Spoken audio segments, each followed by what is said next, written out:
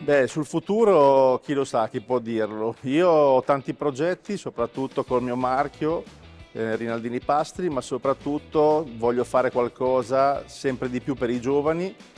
Già da tanti anni ho creato concorsi internazionali dedicati ai pasticceri juniores, dedicati alla pasticceria femminile, ma voglio fare di più per i giovani italiani, soprattutto per farli crescere con professionalità in questo mestiere.